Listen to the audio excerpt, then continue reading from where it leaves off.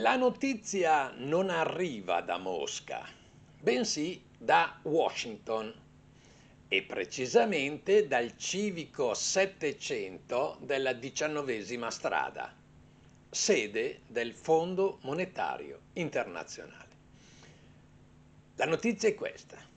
Nell'anno in corso, ossia nel 2024, il PIL della Russia si prevede che salirà del 2,6%, più degli Stati Uniti che si fermeranno ad un più 2,1% e il triplo degli stati che adottano l'euro, la cui crescita si fermerà ad un misero più 0,9% quasi quattro volte la crescita italiana che si prevede non superi lo 0,7%.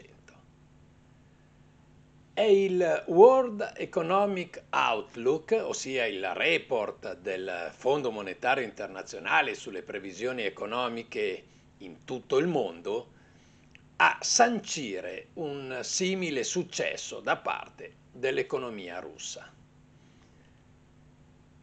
La previsione è in netto rialzo rispetto a soltanto alcuni mesi fa, quando si stimava appunto che il PIL in Russia sarebbe salito dell'1,1%. Insomma, in questi ultimi mesi gli economisti del Fondo Monetario Internazionale si sono ricreduti ed ecco cosa ha dichiarato il loro capo, il loro capo economista. Sembra proprio che l'economia russa stia andando meglio di quello che sia noi che tanti altri s'aspettavano. Sempre secondo il capo economista del Fondo Monetario Internazionale, sono principalmente due i fattori che determineranno appunto questo boom.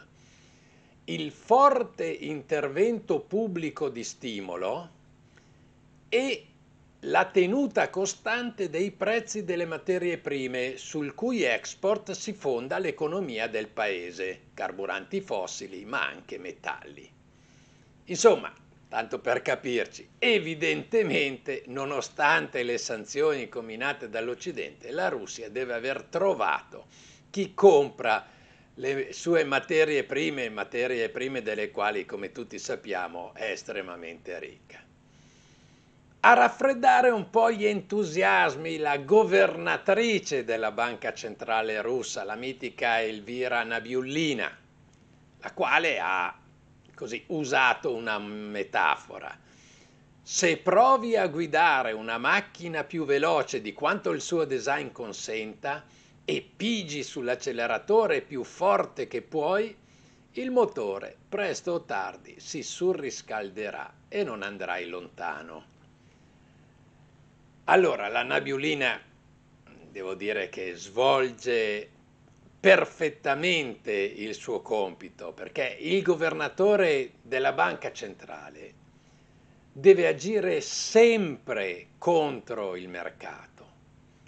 Deve quindi raffreddare gli entusiasmi quando le cose vanno bene e invece diffondere ottimismo quando le cose vanno male.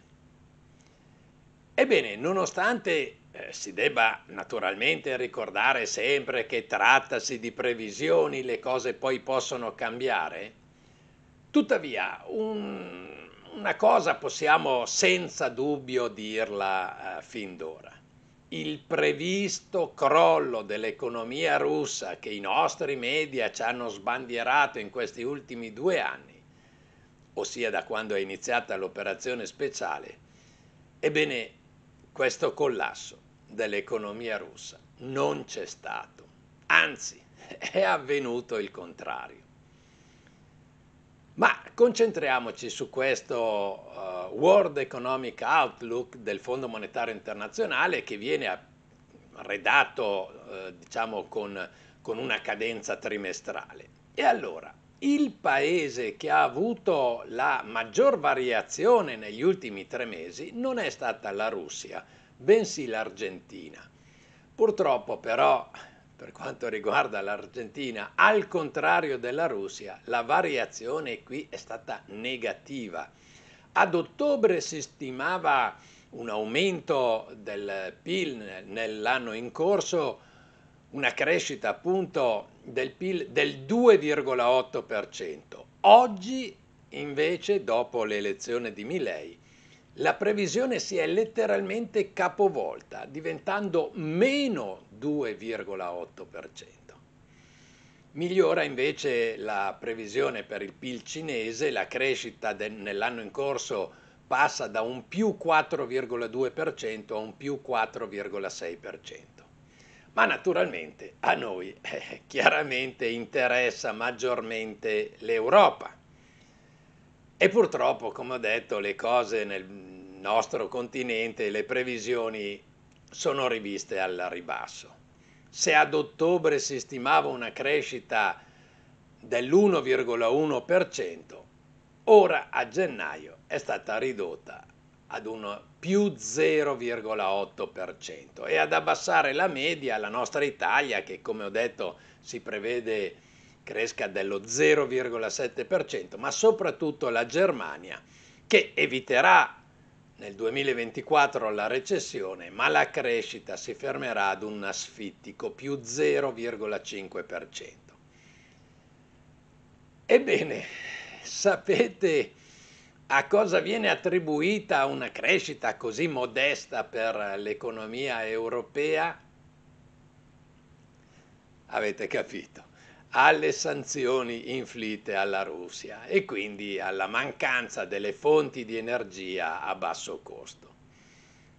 Sembrerebbe per alcuni un paradosso, ma non lo è. I miei ascoltatori più affezionati ricorderanno che io invece ho sempre sostenuto che le sanzioni avrebbero fatto più male all'Europa che non alla Russia. Ora eh, se ne è accorto anche il Fondo Monetario Internazionale. Si potrebbe quindi pensare che la BCE inizi a ridurre i tassi prima del previsto, ma il Fondo Monetario Internazionale è di diverso avviso. Ritiene infatti che i tassi in Europa, ma anche negli Stati Uniti, verranno ridotti soltanto nella seconda parte dell'anno. Il capo economista del Fondo Monetario Internazionale, il francese Pierre-Olivier Gourenchat, ha voluto comunque concludere la presentazione del nuovo World Economic Outlook vedendo il bicchiere mezzo pieno. Infatti ha dichiarato che siamo molto lontani da uno scenario di recessione per l'economia mondiale. Insomma, sembra che ci voglia dire dai, accontentiamoci.